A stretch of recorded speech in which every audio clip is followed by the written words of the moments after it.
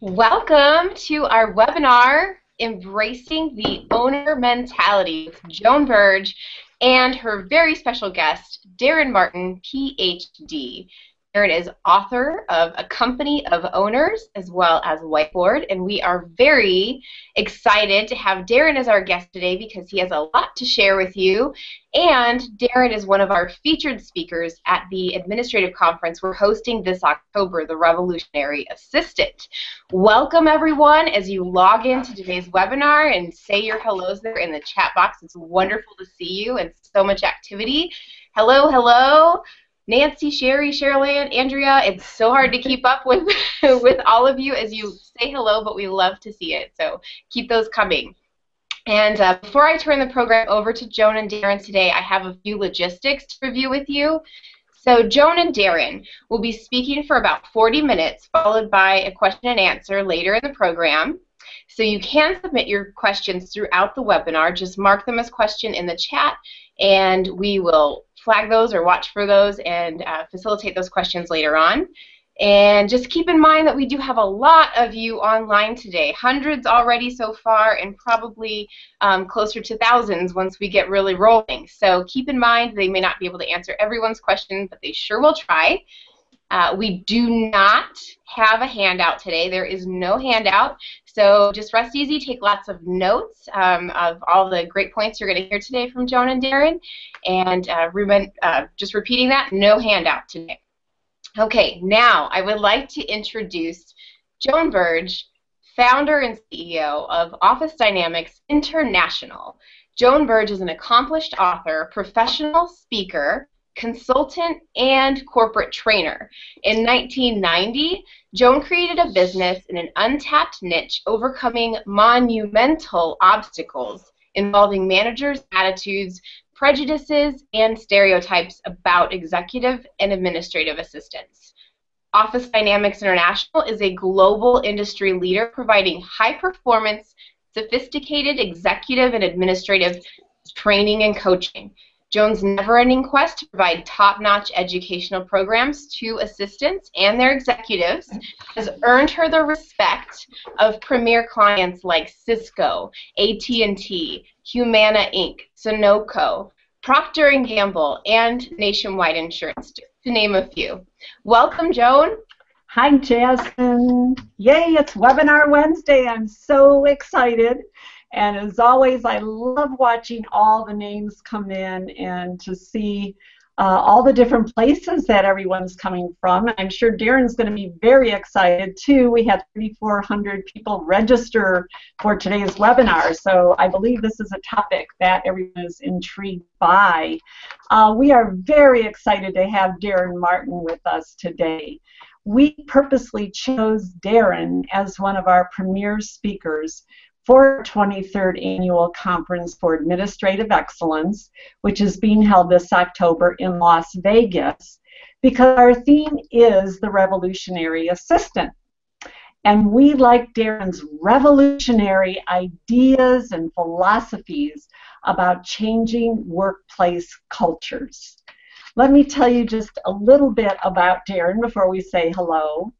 Daren is the author of A Company of Owners, a book that's taking the corporate world by storm, transforming how organizations operate and how employees think. It's, by the way, it's an awesome book. You can see I've already flagged several pages. I've read the whole thing, and we're already applying his philosophies at our organization. With a PhD in psychology and impressive background leading corporate change initiatives, Daren has a unique and inspiring message every administrative professional will benefit from hearing. So welcome, Daren. Hey, Joan. I am, and, and all the rest of you, I am so excited about this. I've really been looking forward to this time. Good. Well, we're excited to, to have you. And I don't know, have you ever had such a great audience, almost 3,400 people on a webinar? Absolutely. As far as not. the webinar goes? No, this is fantastic. This is definitely a first, so I am stoked. Good, good. And well, after after Joan hearing your uh, intro, I'm just wondering why am I even talking? Why am I even on here? We we should, we should just hear from you. But uh, very impressive, obviously. Thank you, thank you. Well, this is going to be great, and um, for our audience, I do have specific questions from Daren, but we're also going to keep it casual and formal, and probably go back and forth a little bit. And be sure to to put your questions in the chat box. As you think of them, we'll be sure to get to them later on. So the first question, Daren, I have for you, of course, is can you start, you know, telling our attendees about your approach and um, this new philosophy that you're teaching and how it ties into being revolutionary? Okay, so the book actually, a company of owners, started with a conversation with the CEO of a $20 billion company this was probably four or five years ago. And I told him in the hallway, you need to fire your employees. Now, before everybody starts hanging up, okay, just hear, hear me out on this. People going, wait a minute, you're telling people to fire us. Um, and that was not my point. He said, you know, Martin, what are you talking about? And I said, listen, you don't want employees, you want people who act like owners.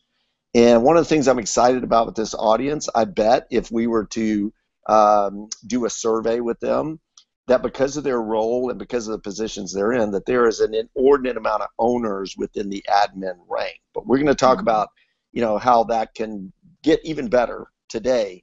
But the reality is, uh, your typical U.S. company. Well, let me ask you, what do you think the engagement level is at your typical U.S. company? I'm talking about people who show up, act like it's their company, ready to rock and roll. What do you think the average engagement is according to a Gallup poll?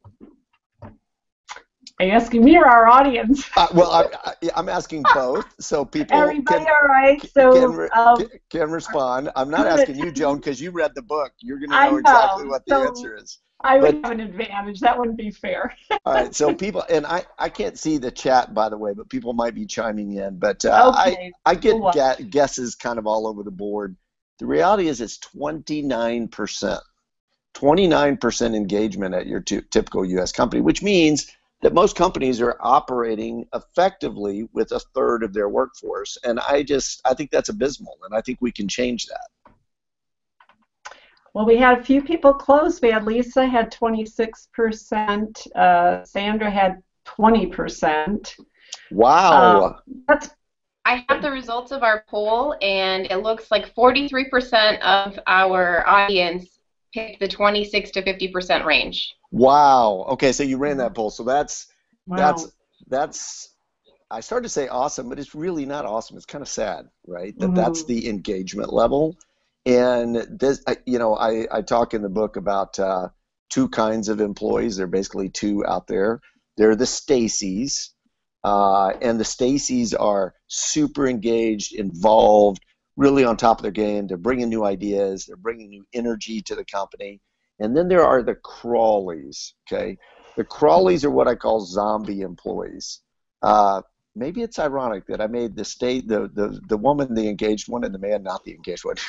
Who knows? For your audience, I think they will love that. But um, yeah, so crawlies are zombie employees. They're just kind of going through the motions, and we've got a lot of crawlies in companies across uh, across the board uh, I call it the corporate zombie apocalypse, which if you hmm. just walk around the, the hallway of a typical company, you find a lot of people that are just acting like drones. And I don't think I don't think that's good for them. I don't think that's good for the company. And I think it drags us down overall just as a as a society. So let's change that. Mm-hmm. So your concept truly is revolutionary in terms of, you know, historically for years and decades, um, the mentality of, of companies is that we have employees, you know, who work for us. But Absolutely. I know just I've seen it in my own company now as I've been shifting more to that owner and making each employee feel, even though I have a small group, but feeling like they are really participating, they are an owner, and their mm-hmm. decisions do matter, um, and their contributions make a difference. They're acting differently. I'm getting better results, the company's doing better, we're able to give better service to everyone. So it, it definitely is a whole shift. And how are you going to get these people to change their thinking? I'm curious. I, Joan, I love it. I love what you're doing and what you're describing because that is the company of the future. And I say in the end of the book of, hey, if you don't believe this and you don't want to adopt this, fine. be prepared to be extinct because we are seeing a big movement towards what you've just described. Um, not to get all fancy, but a couple of big words, if I can throw these out, uh, that they're they're important. But a meritocracy is when you have a company or a society where you get promoted based on your merits, what you do. I'm all for that. You perform, then you get you know advancement. There's a new one, a new word. It's probably not a new word, but it's uh, new to the corporate you know language. It's called a holacracy. Do you know what a holacracy is, Joan? I'm putting you on the spot here. Do you know what? I'm very proud to say I just found out in January because we toured Zappos oh, here in Las awesome. Vegas. Yeah. Prior to that. I did not know. I was like, what is this? Okay, so but I'm I- sure most of our audience doesn't know. No, and I, I didn't know until I, and I toured Zappos actually about a year ago. Zappos just announced what six months ago or so that they are completely doing away with management, with supervisors, with any of that. You're going to have your job. That's your position. They expect you to own it. Now that's way out there for most of the companies that are even chiming in and listening in today. That's a, that's you know that's probably way down the road potentially. But it's interesting that a company like Zappos is saying, hey, we're going to hire the right people, we're going to hire A performers, and then we're going to treat them like A performers. You know, I say in the book, if you want people to act like owners, you got to treat them like owners. And part of the reason we have such low engagement rate is uh, people aren't being given, you know, the, the runway or the leeway to actually perform and act like owners. So they just end up checking out at some point. I think you just said something. It's not on our little script here, but it really struck me when you said people aren't being given the leeway. And I know this is going to build into what we want to talk about, but uh, something I know I'm always talking to assistants is a, is to take the initiative. Don't wait to be given permission to act that way, to have the authority, to, to be empowered, um, because they may never get it, right? So um, I was thinking, my kind of leads into my next question. My perspective, I was feeling like this owner mentality could truly be a secret weapon for an assistant to go from being an order taker and task doer to being an indispensable contributor. So Uh, I love it. Do you want to be fireproof? I mean, absolutely indispensable to any company. Listen to what Joan was just talking about. And Joan, obviously, people, I think most people listening may know your background, but you've proven this with your own life. You came up through the ranks, you, as you know, established yourself, and I know you did that by doing exactly what you're talking about. You did not wait for somebody to tell you what to do. You looked around, found out what needed to be done, and went and did it. Um, so for and I hope everybody listening right now is going to be at the conference because we're going to have a great time in Vegas. Uh, but I'm going to give you a little tip, It's a little heads up. I'm hoping everybody forgets between now and then. But one of the things I do when I'm with a live audience is I, I will stand at the front of the room and I'll say, and I'll do just this, hold it up and go, who wants a you know free copy of my book? Who wants a free copy of my book? What do you think the entire audience does at that moment? It's a good book, Joan. They're Raise- interested. Do they. They raise their hand. I want They it, I want I it. want it. I want it. I want it. And then I'll tempt them some more. You know, who wants a who wants a free copy? Who wants a free copy? And I'll do that. Who gets the book? The person who leaves their seat and actually runs toward the stage and puts their hand out. Oh. And then I now we're gonna have 500 people rush the stage if I do Okay. this at, in Vegas now. there they go. They're already in. they're, they're, Okay, they're remember already, they're that if already running. to conference, run up. they're, they're running for the stage already. But yes, so when I do that, and then I make the point listen, owners go to the ball. They don't wait for the ball to come to them, they go to where the action is. In fact, uh, Wayne Gretzky, you know, the old uh, you know, hockey player, what one of the most successful all-time hockey players said, he attributes his success that he doesn't go to where the puck is, he skates to where the puck is going to be. He's anticipating and running ahead of that. And I think that is the single biggest thing that the, the that everybody listening to this can do is don't wait for the need, anticipate the need. Can can I show you something real cool? Sure. Okay, you'll be the judge of that. But hold on, hold on. I gotta, I gotta get up. Hold on. Okay.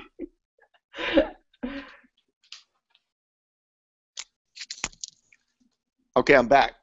So I'm staying at the Westin outside of DC. Can y'all see this? Uh, hold it up one more. Let's see. Pack light, stay fit.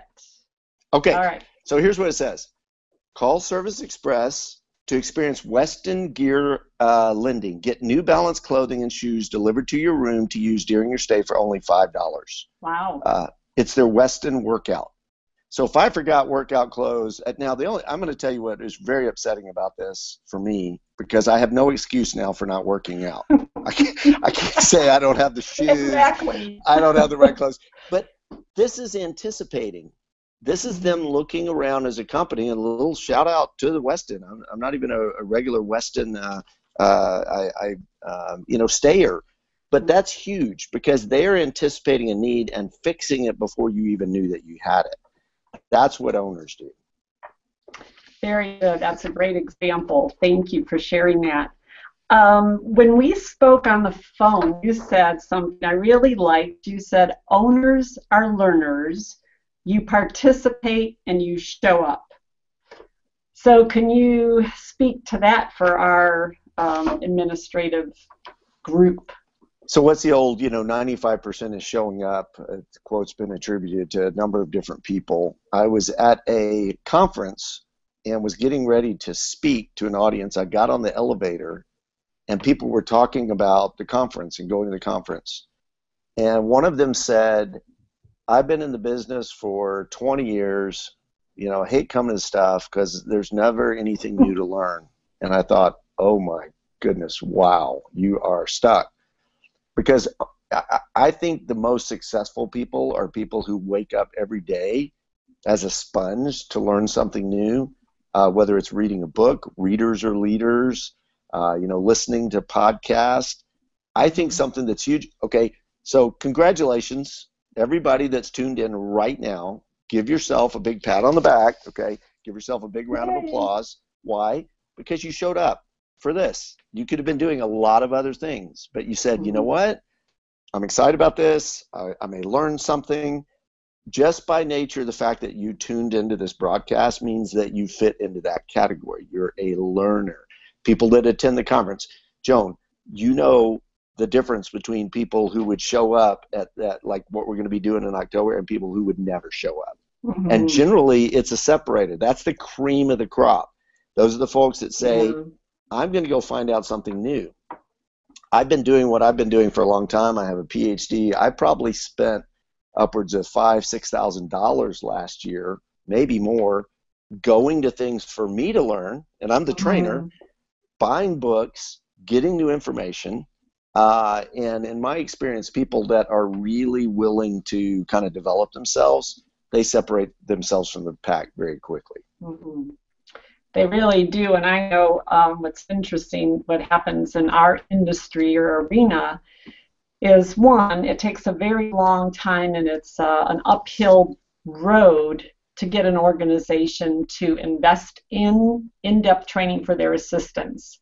So it could take two years. I mean, one one company, one big bank we've been working with, it's been two years that they've been working on getting approval for me to come on site and teach our, our very lengthy flagship program called the Star Achievement Series. So it's a massive program. There's two levels of learning, eight full day workshops. So it does take longer, you know, to get in. But what's interesting when we finally do get on site, you have this group that is so eager. Hmm. to come and they're chomping at the bits and yeah. they can't wait. Oh my gosh, they can't yeah. get enough of it. And then there's a group who who don't take advantage. And I feel like yeah. that's so sad because it's such a big deal to be able to get that training you know within the organization and like you said i think that's what separates what i call the star performing or star achieving assistant from the ordinary you know absolutely um, and they're probably showing up to the training the same way they show up to life and the same way they show up mm-hmm. to work every day and it's sad to me mm-hmm. because wow. First of all, we're living in one of the richest, most wonderful countries in the world, right? Yeah. Uh, we have jobs. Everybody that's listening to this is, is, is probably employed. Um, and we have so much opportunity. And to see that squandered away, people, have you ever heard this? You say to somebody, How are you doing? And their response is, No complaints. Now think about that. think about that as a metrics for how my day is going. Well, I have no complaints. So I'm starting to say to people, if someone says no complaints, I, I, I want to say back to them, oh, well, we should come up with some because there's got to be something you could be complaining about. But, you know, how different is that from going through life in a way that I am outstanding? I am mm-hmm. fantastic. Mm-hmm. Because the way we talk to ourselves, the way we talk about ourselves really does influence how we show up. Mm-hmm. And you know, I don't I don't know if you know this, but it's it's actually a proven fact every single person in the world makes other people happy. Every person. It's a, it's a you know scientific proof. Some people make people happy when they walk in the room, and some people when they walk out of the room. Out. Right. Okay. so, what kind of person are you? What kind of person are you being? And that difference between when you show up to a training or you show up to something like that, and you are full on and ready to give it your best, I guarantee you that's gonna happen at the conference because they're not going to have any choice. We're gonna we're gonna force them to, right, Joan? Exactly. It's, gonna be it's gonna it's gonna be game on. But uh, yeah, I, I, people are just bored, and they are uh, bored with life. They're bored with work, and it it it's not supposed to be that way. It can be so much better. Okay, great. Well, I'm watching the chat while we're talking too. I'm kind of looking back and forth here. So um, it looks like we have a request to get to some specifics. Um, somebody out there is hungry for a little more meat from us, and so I think, well, what if we wanted to do first of all is set the framework, which is very important. And um, I would say that this really is not like anything you have probably heard if you're really listening in to what Daren is saying so because this is this is very new and, and definitely a trend where companies are moving. And so what i always say to people is being an owner is owning what you're hearing. And to say how can i take this and apply it? And i also like to do a rating scale. What i always do um, and we could do this with the character i want you to share the eight characteristics. What i always say to people um, whenever we're going through a list of characteristics or attributes, and I do this with myself, it's to ask yourself what percentage of time do you portray that? So I'm sure everyone at different times have an ownership mentality or take the initiative. But what I would say within a year's time, are you doing that 20% of the time? Are you doing it 80% of the time? Are you doing it 75% of the time? So the idea is to up your percentage. None of us will ever be 100% of everything all the time. It's not humanly possible. Right. So Daren is going to share with us uh, from his book. He lists eight fundamental characteristics of owners. So he's going to go into detail at our conference with these, but I really wanted him to kind of go through the eight today. And what I would like you to do as you hear these characteristics, rate yourself on that scale over a year's time. What percentage of time do you display those characteristics? Take notes, and then you'll know wow, here are the areas I really shine in. And wow, here are the areas I need to excel and grow. And um, Daren, I know what was helpful for me when I went through your eight characteristics. I looked for specific action that you listed. Um, so that way I knew, like when you talk about initiator, you know, you actually said they don't, you know, wait for the ball, they grab it and advance it down the field. So could you include action with each, one so they could say, hmm, you know, what percentage of time do I do that over a year? Love it. Love it. So, analyzer is the first one. How many times do you produce data or information or you're requested to, you know, put some facts together, some things together? You compile it and you basically just hand it over. Um, certainly, I know people who work, for example, in accounting departments that have very important numbers coming across their desk every day, but they don't really ever stop to think, what does that number mean? Why is that number big, this number small? So people who are owners don't just give data, they analyze and look at what it actually means and how it impacts the business, um, including not just the first deal, but what's the second uh, potential order impact or third potential order impact. Um, I'll give you an example of what I'm talking about. They removed uh, or they put up uh, the, the cameras at intersections in a certain city in Texas, small town. They put them up mm-hmm. to, to keep people from running red lights because they wanted them to be safe. And so, you know, if we ticket them, then maybe they'll stop. What they, they pulled those lights or those cameras out two or three months later because what they weren't anticipating is the accident rate actually went up. Oh, People wow. were heading to the intersection and they would see that camera and the light would turn yellow and they would slam on the brakes and somebody wow. would run into them in the back, right? So it's not just at first glance the kind of information you're producing that you're putting together. It's not just, hey, here's what this means on the surface, but what may it mean on a deeper level. So providing more in-depth uh, analysis. Here's the data, but here's some you know extrapolations from that. Uh, right. Initiators we've talked about. Certainly, um, I, I want to give you another one in that category. Come with a plan, not an idea. There was a, uh, oil and gas company, a very large oil and gas company, been a client of mine for 10 years, and there was a super entry level position uh, for the person uh, for the for this particular person. I mean, basically, what their job was was to go around, make sure the coffee was stocked, bring the mail from department to department. Anybody would look at that job and say they have very little influence. Okay. Uh, this person happened to be really big on being green and looked at the amount of styrofoam cups mm-hmm. that the company was using and all of that, and didn't just gripe about it. Didn't just say, uh, you know, we need to make a change. We should be green as a company, but actually put a program together, got the cost involved, got the mm. vendors lined up, and didn't come with the proposal until they were ready to say, hey, this is what we've been doing so far. Here's how much it costs. Here's what we can do instead. This is why it's going to be an advantage to the company. And this lowest level position within the company was able to take a oil and gas company, you know, keep keep that in mind, green. Well, that's mm-hmm. initiation. That's really coming with a plan, not an idea. Most people just throw out ideas. Hey, it would be cool if, or I really think we need to do this, and in this area of our business, but they never actually do the research to come up mm-hmm. with something.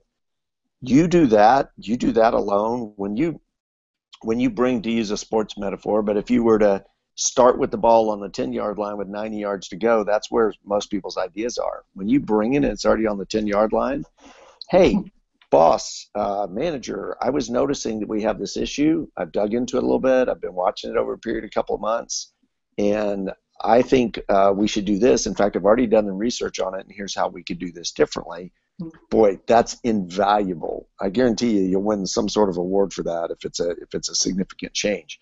Uh, strategic thinker would line up with that as well.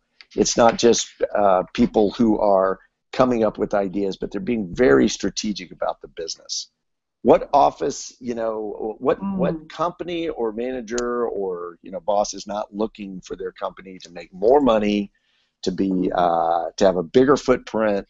And when you can think strategically and notice things because i'm sorry but the people that are listening to this probably know a lot more about the company than sometimes even the ceo does is that true yeah because in fact I, I walked into a law firm one time, big, big law firm in Dallas, and the guy said, "Well, what are you going to, you know, do for our company?" And I said, "Well, I'm going to tell you things about your company you don't know."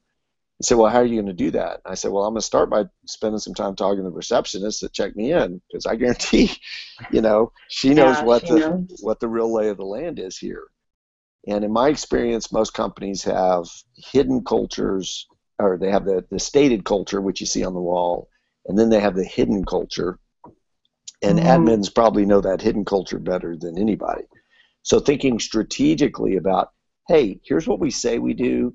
Here's how I think we could align better with that from what I've experienced. Or here's an area where I feel like we're not performing at our peak. And I think to use that kind of language to be very positive with suggestions that you're putting out there. Not we're not even doing that. We say we do this, but we don't do that. You know, mm-hmm. I think I think getting out of that negativity is huge. Showing it as a path forward. Uh, forward thinkers. It is 2016. It's 2016. Many companies are operating like it's 2006. Okay, or like worse yet, it's 1990 I told a company recently they were getting ready to do something. I said, "Great, we're now finally entering the 20th century." And people looked at me like, "Wait, you mean 21st, right?" Like, no, no, no, I mean 20th. Um, we've got all sorts of opportunities and ways to do things differently using technology, and you know most companies are so far behind the time. So being a forward thinker, where are we going as a company? Mm-hmm. How do we leverage technology in a way that really helps us be more successful. Connector. Here's a very specific one. Find somebody in the company that you've not spent any time with and go to lunch with them. I don't care what level they're, they're they are. If it might be a VP of something, it might be um, you know a, a, an intern that's only been with the company you know 30 days. Find somebody in a department or a group that you know very little about. Go with them and then just ask them, hey, you know, how would you see the company through uh, your eyes? What do you mm-hmm. think we do mm-hmm. well? What do you think we could do better? Compile some of that information, bring that back. That could be tremendous research. Um, learner, we've talked about, boy, being accountable. When when we're together in October, I'm going to talk about the three kinds of responsible. Joan, do you know the three kinds of responsible? When we think of teenagers, we typically think of the first kind of responsible, which is irresponsible. Okay. Which teenagers get a bad rap. teenagers get a bad rap. Sorry, teenagers, because there are some very responsible teenagers out there. Uh, and uh, you know, irresponsible is I don't do what I say I'm going to do when I say I'm going to do it. Responsible is I do what I say I'm going to do when I say I'm going to do it. But there's a third kind. Anybody out there want to chime in? I can't see it, but you might. Third kind. Let's see. All right, audience, come on. I know you think of something out there. They're stumped. Kind of responsible. Well, I'm gonna I'm gonna give it to I, them. All right. Non-responsible. Oh, non. Non-responsible is any time I attribute something outside my inside my world as being outside my control. Mm. So, Joan, I said I would get that to you by Friday at 3, but you know, I was waiting on something from uh, Jim and I never heard back from him. And I even emailed him, but I just get back. I'm so sorry. I just wasn't able to get that to you. But it wasn't really me, it was Jim, right? Mm-hmm. Non responsibility is all over the workplace. And we're going to talk about how that cannot be you. Because if you want to be a standout become a 100% of the time responsible person. Now, it doesn't mean you can always control all the circumstances, but it means that you own it regardless, and that there's never a woulda, shoulda, coulda. And you know, I know um, that everybody listening to this, there's a lot of moving parts, and you know, some people might even be agitated with that. Just bear it out. Mm-hmm. We talk about it in October. It'll it'll uh, be more clear. But learn to be responsible in everything in your relationships in your work. Uh, be responsible. And the last one's empowered. Uh, it goes back to what you said earlier, which is don't wait, make a decision, lead the pack. I have found very few uh, managers or bosses or you know people that are um, you know running companies who get upset by someone showing initiative. Mm-hmm. Um, most people sit back and wait. Hey, I haven't been told, so I don't know you have as much power as you decide that you have. And when you decide that, hey, I this is my company, I can I can do what I need to do to help move it forward. Now, don't don't um, don't think in terms of don't don't mistake uh, an inability to do it in an appropriate manner with oh no, see, I'm not really empowered. Do it in an appropriate manner in a way that can be received, but yeah, be empowered. So that's just a quick hit. Well, those are awesome. I've been making notes, some notes as uh, you were talking, not to not to be rude at all, but to circle back on a couple of these and thinking of our audience and the assistants specifically. Um, first of all, though, let me run through those again. I noticed some people were wondering what number three was and number seven. So um, for the audience, I'm going to go through the list again. These are the eight fundamental characteristics. Analyzer, initiator, strategic thinker, forward thinker. Am I in line with the book? Yeah. oh, yay, awesome. Up. I'm putting them up so here. we have a little visual effect with this. Uh, Absolutely. Connector.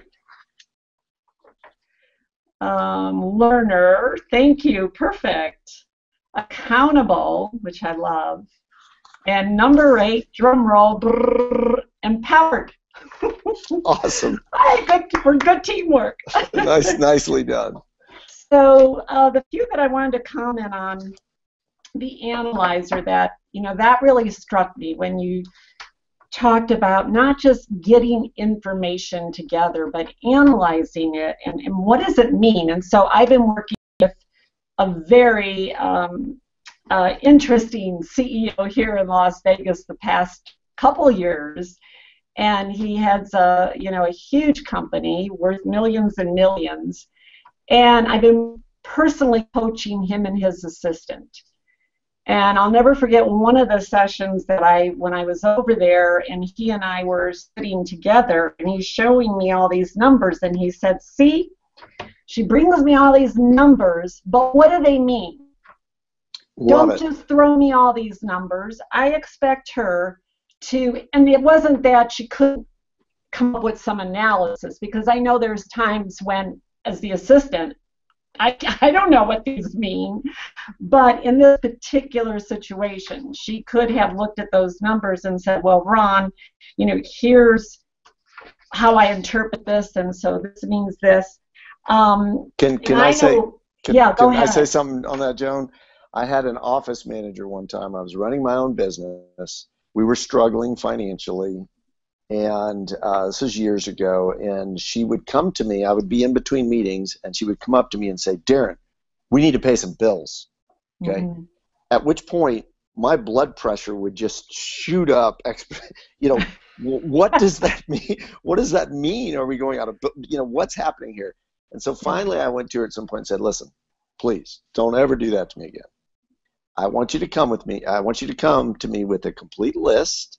I want you to have thought through and prioritize them. Hey, we may want to pay the light bill, you know, first because we're Mhm. we're about to have that shut off. Prioritize them.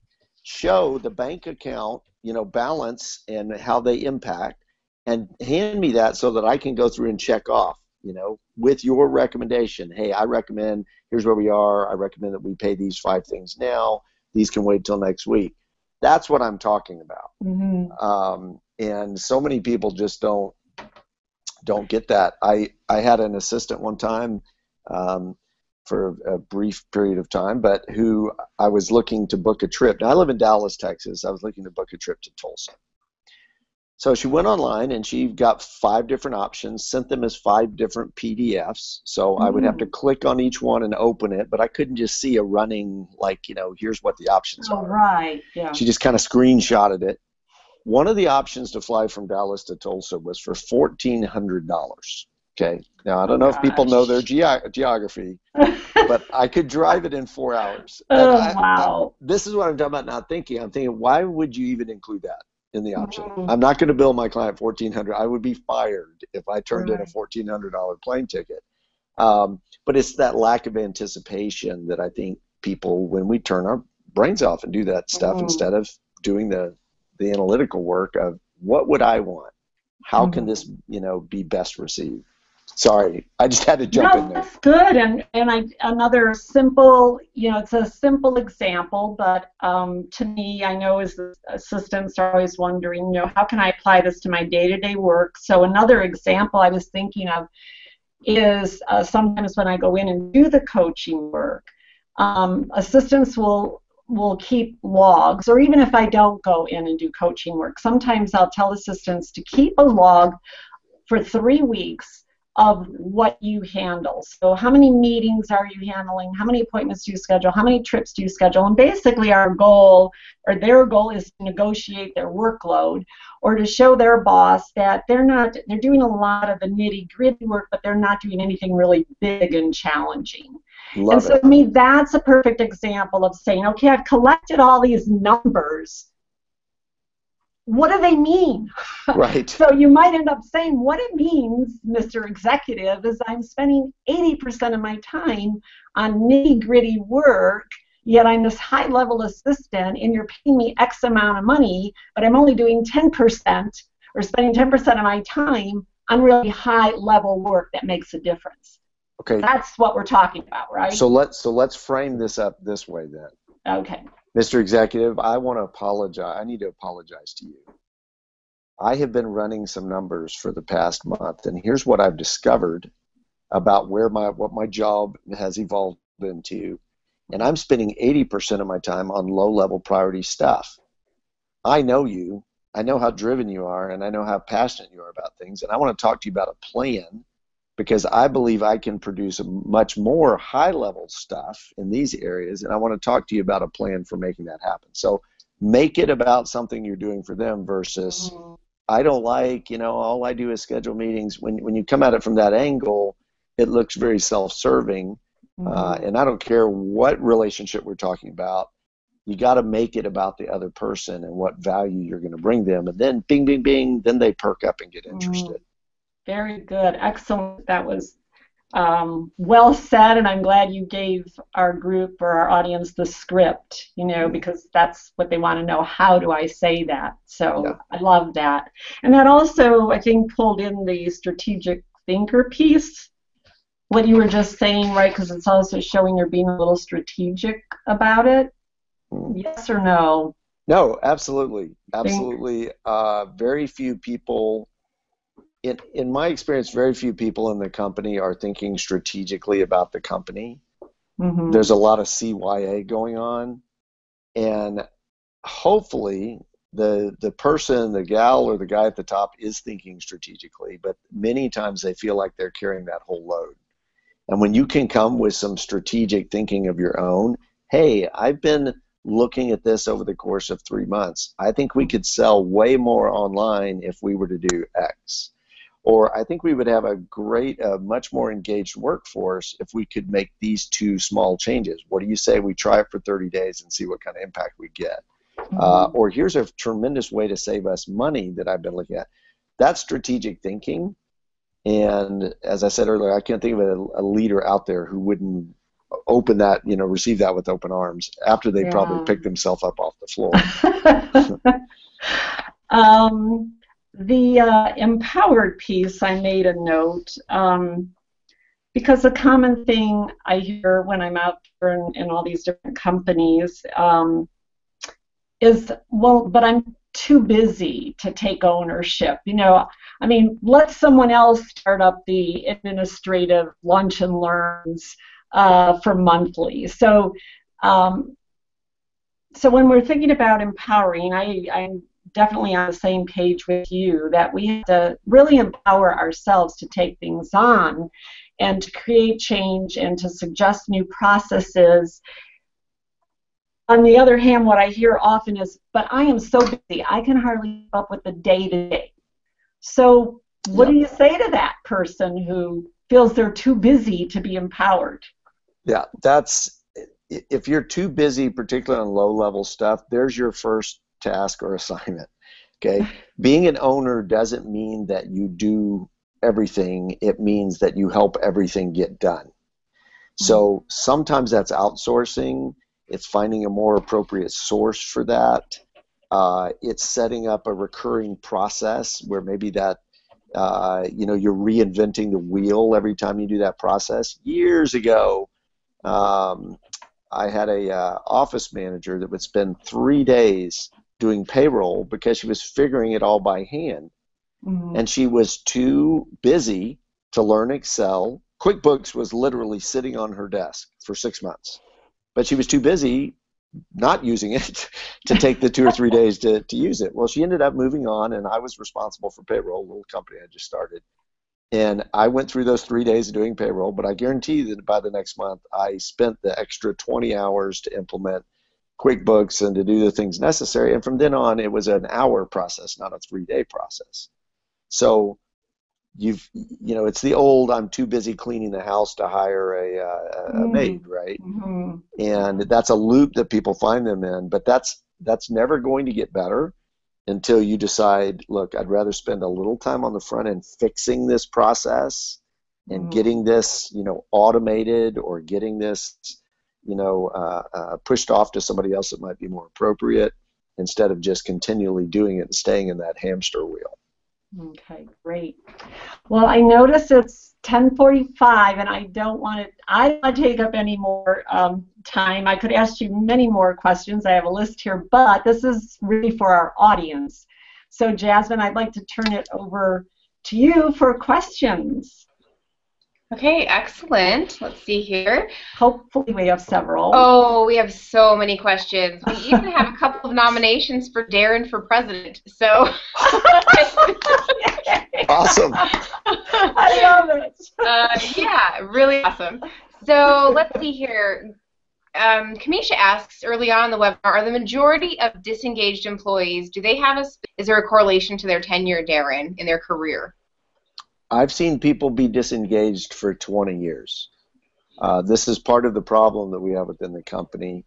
And, you know, now, I, and I think you're probably asking, Denise, from a different perspective, which is when you've been doing something for 20 years, 30 years, does it get kind of old and stale?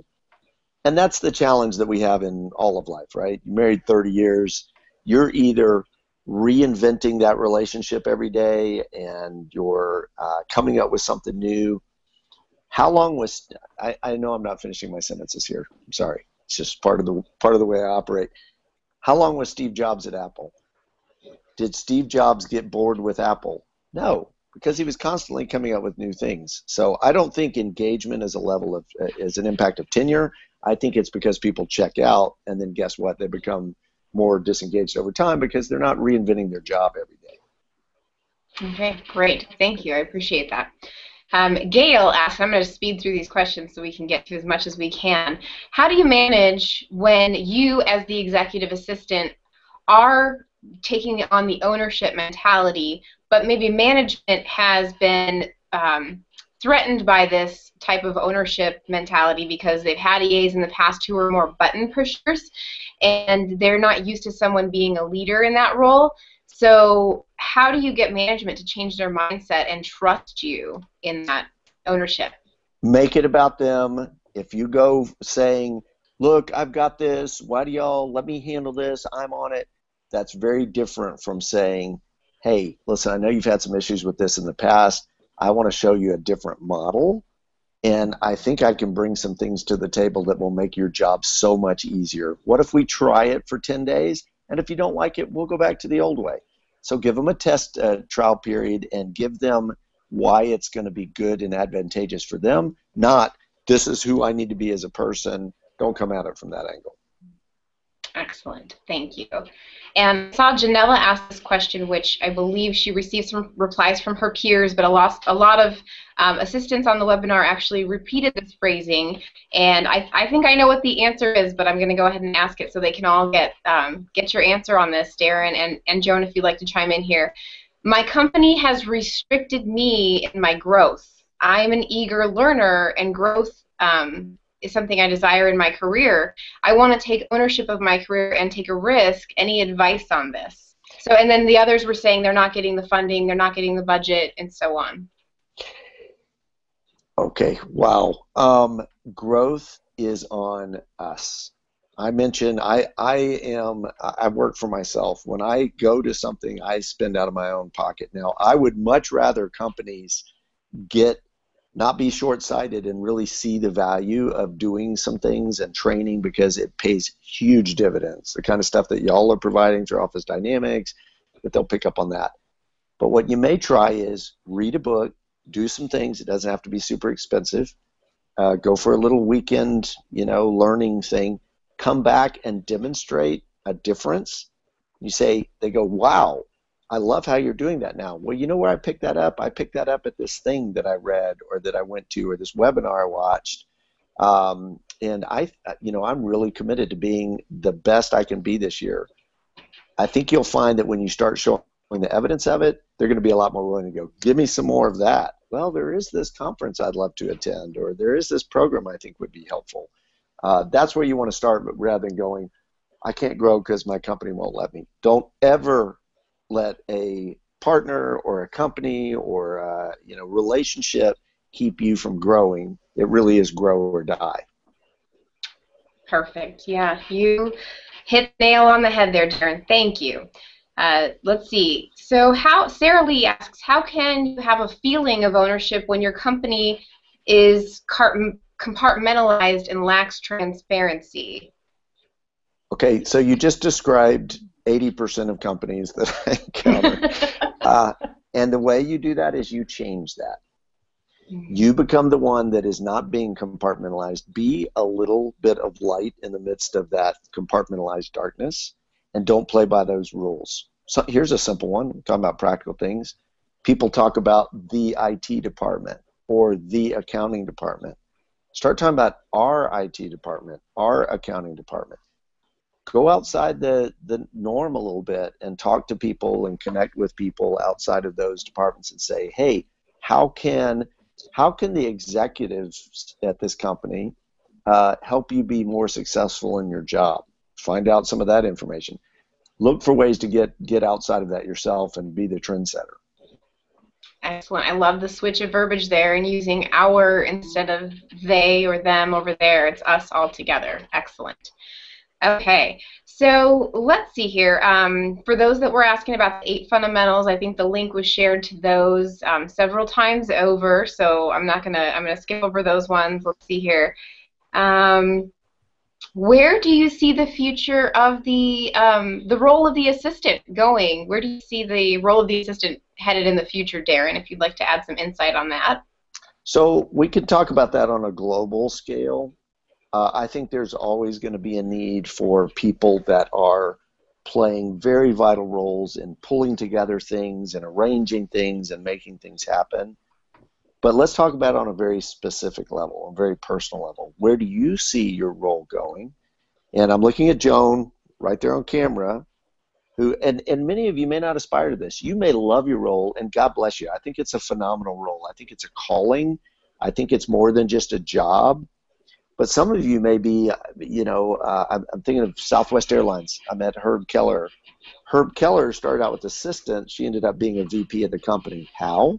Because she provided so much value over the time. So whether you aspire to that or not, create create personally your own role within there where you become indispensable. Perfect. Thank you for sharing that. Okay, this is an inter interesting question from Sunny. She says, when we're coming up with a plan and um, doing all of that work in the in the forefront before we actually bring that idea to the executive or to the management team. Um, could this be seen as a waste of time in doing all that work before the idea has actually gotten any kind of approval? Uh, it depends on where you put that. Great question from Sunny, because if you spend a lot of time on something that they're not interested in, then yes, it could look very self-serving. You know, I, I did all this research and came up with a plan why I should be promoted or why I should get a raise. Okay, that's not what I'm talking about. But when you come with something that is solving a problem for a company, they're so weighed down with people coming out of meetings going, you know, well, we should be doing such and so.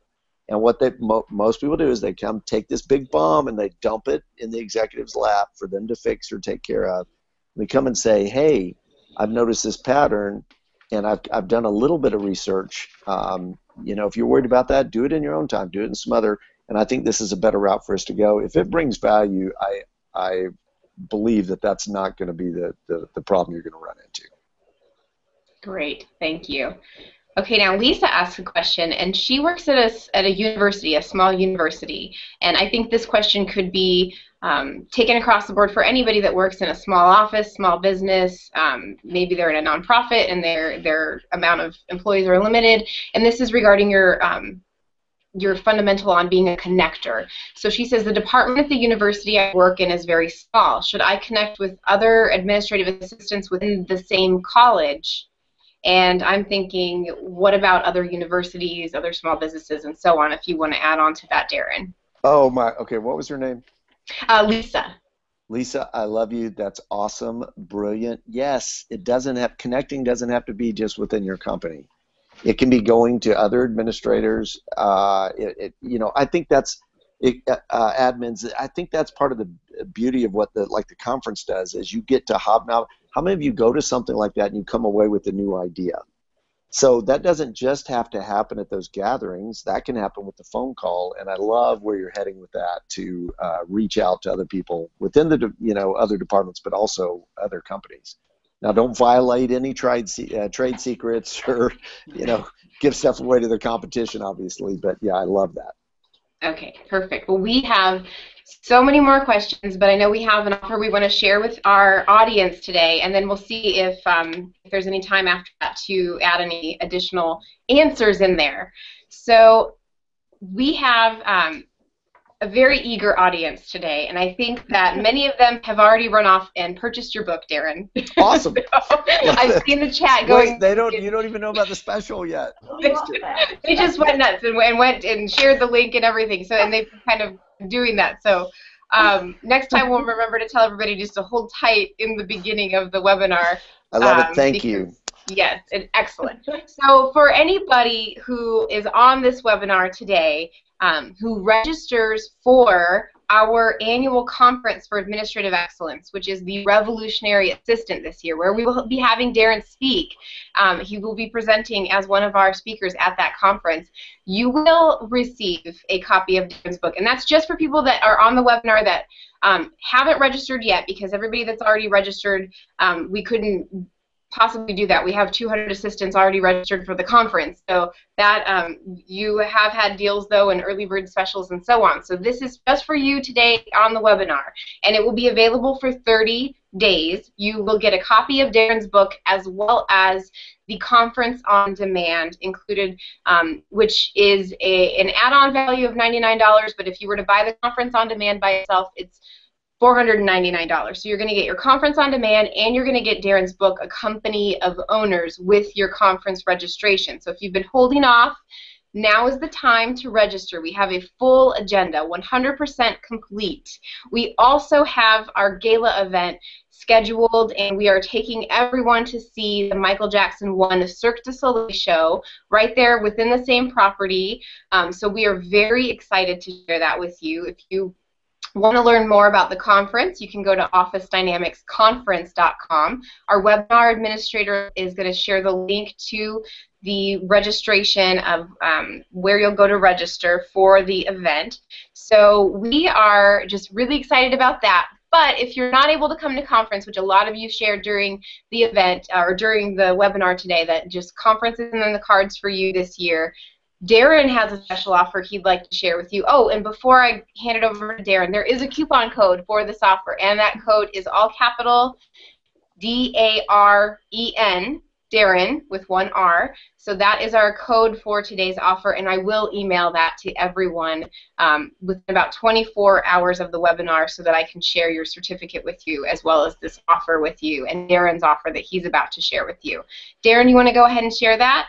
So two offers. One, if you will compile some of the questions, I will sit down and put together some responses, and we can send that out to everybody if you'd like. So if their questions didn't get answered. Mm-hmm. The second is uh, if you go to darenmartin.com, D-A-R-E-N-M-A-R-T-I-N.com, and hit shop, there's a bundle where you can actually get both books, Company of Owners. This one's whiteboard. It's a hand-drawn, handwritten, first of its kind, uh, kind of funky book.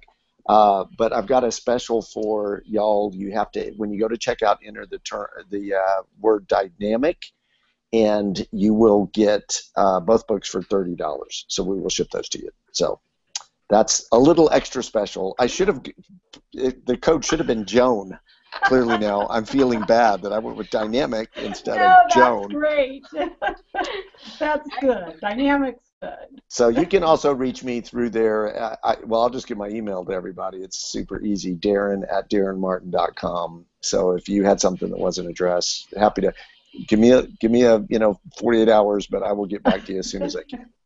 Excellent. And Daren, you just gave your email address to thousands of, of wonderful assistants who are going to be asking you um, all the questions on, on that ownership mentality, uh, which I think will be wonderful.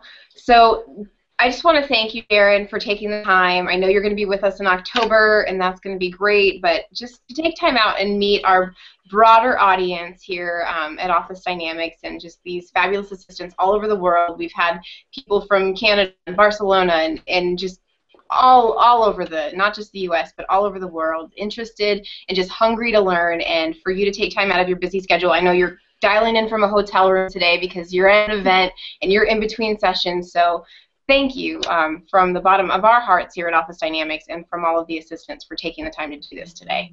Absolutely. Can't wait for October. It's going to rock. yeah, it's going to be wonderful. Yes, thank you. I also want to uh, thank Daren very much for his time and wonderful insights. Um, I love it. Like I said, I've already read the entire book. It's an easy read, by the way, so there's no excuse to not read it. And also, I would just say if you did order a copy, um, to share it with your leader and your manager and mm. share it with your department. There are some great things in here that you could do.